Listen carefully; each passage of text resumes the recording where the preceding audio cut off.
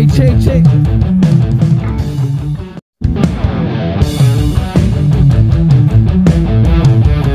Cek cek cek Ingat, jangan di skip, di like, komen, lalu share, and subscribe.